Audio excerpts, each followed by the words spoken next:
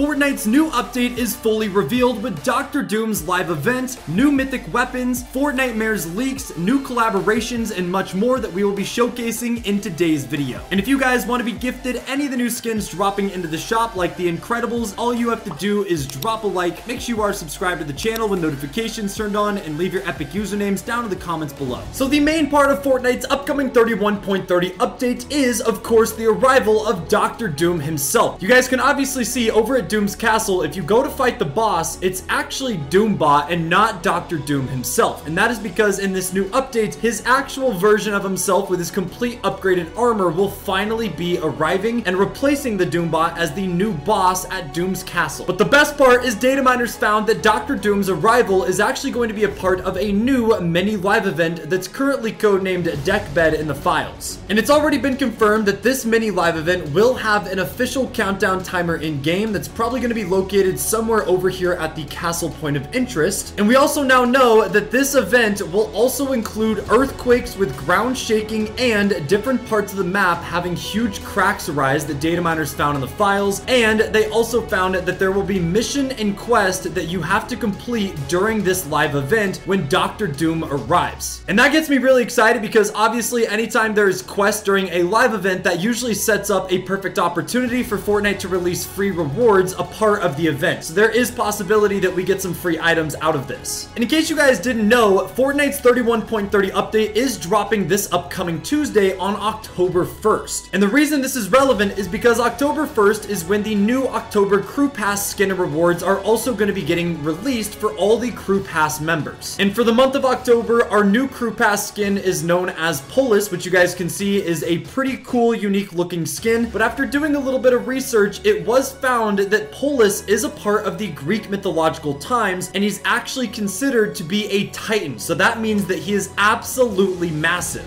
And now that we know that Doctor Doom's arrival event will have earthquakes with big cracks forming all over Fortnite's island, I did have a theory that what if Polus is also going to be implemented into this upcoming event since he is a titan big enough to cause damage on Fortnite's island. Especially if you guys look at his hands and then look at the Pandora's Box live event that we had two seasons ago, there is theories that Polus was actually the titan being that was under Fortnite's island and his massive hand is the one that rose up and actually gave us Pandora's Box. So if that is the case, we could see Polus rising from the ground again also upon Doctor Doom's arrival, who is also said to be a very large being now that he's completed his Pandora's Box armor and can harness its energy to its full capacity, which is pretty scary because he is going to be very, very difficult to take out. Of course, we did have other theories that actually connected to Doom's ominous castle here over at his point of interest, where it has now become very clear that this is actually going to be a summoning portal for him to summon Mephisto, but data miners already confirmed that the official Fortnitemares update won't be until October 15th, so I do not think that this upcoming mini event will have anything to do with Mephisto getting spawned, but of course, you never really know. Just know that if the mini event is based on Mephisto, then the countdown timer will be located above this tower, and this area of the map is probably going to be getting some of the most map changes and cracks in the ground. Now, on top of Doctor Doom arriving with a mini live event, we also have new collaborations getting added in this update that leakers found early. The first of which is a new Spider-Man Venom collaboration that data miners tweeted saying Rocket League is getting a Spider-Man vs. Venom Halloween event soon, and it could also impact Fortnite. In the last update, we already found a new cosmetic for this, indicating that we'll likely get even more cosmetics from this event. So we could be expecting a new version of the Venom skin getting released on top of some new vehicle decals and potentially a new vehicle overall, since this collaboration is mainly going to be taking place in Rocket League, but as we know, a lot of the collabs between Rocket League and Fortnite usually cross over since Epic owns both. And this also makes a lot of sense considering there is a new Venom movie coming out later this year, so there is potential for this to be a large-scale collaboration where we actually even get new mythics and potentially a new Venom boss, which I think everyone would love. Also, make sure to add us on Snapchat for more giveaways, daily news, and special item shop gifting. Another collaboration found by data miners is between Fortnite and Masters of the Universe, where they may be adding a new character known as Skeletor. But Wenzo, a very reliable leaker, tweeted saying Skeletor from Master of the Universe will be coming to Fortnite. This is from the same source that told me about many other collabs that have come to Fortnite, such as Future Trunks and My Hero Academia. They don't have any information on when he's releasing,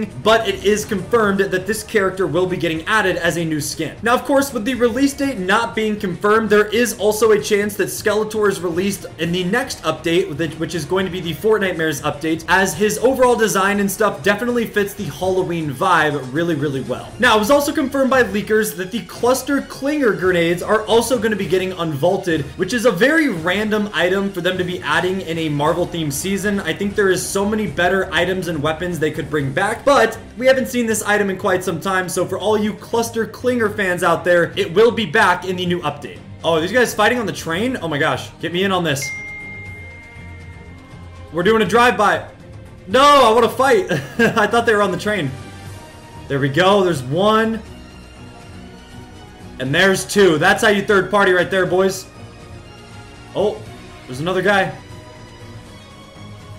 There we go. Took every weapon in my arsenal, but we got them. And of course, it wouldn't be a new Fortnite update with all of the new skins and rewards that you guys are able to get either for free or in Fortnite's item shop. And the first one we should be expecting is this new version of Peely that is a Deadpool hybrid that we actually saw revealed for the first time at the D23 livestream event. This was basically Epic's way of foreshadowing some of the skins we would be getting this season, and obviously it is still yet to be released, so we should be expecting it in this update since the following update will be fully Fortnitemares based, and it wouldn't make any sense for them to get released then. Another set of skins we should be expecting is Fantastic Four, even though the characters are found as dead trophies around Fortnite's island after being taken out by Doctor Doom, data miners found that they are still working on new Fantastic Four skins that may be tying in to the Fortnitemares event or just regular skins that we're able to earn a part of this new update. Get lasered.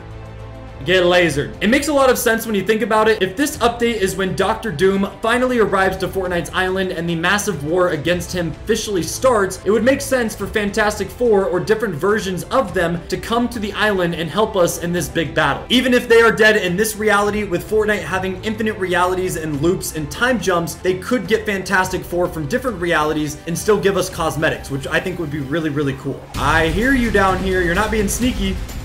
Oh, you want to go hide in the bush, huh? Well, it's working because I don't see him anymore.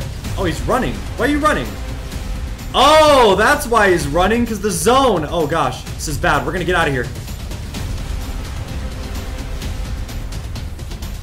There we go. That was a little close for comfort. All right, and it looks like the last guy died to zone. He must have not been paying attention like me. That is all I got for you guys in today's video. If you guys are hyped for the upcoming live event, Doctor Doom's arrival, and the overall new Fortnite update, make sure to drop a like, subscribe to the channel if you're brand new, and we'll see you guys in the next one. Take it easy, my friends.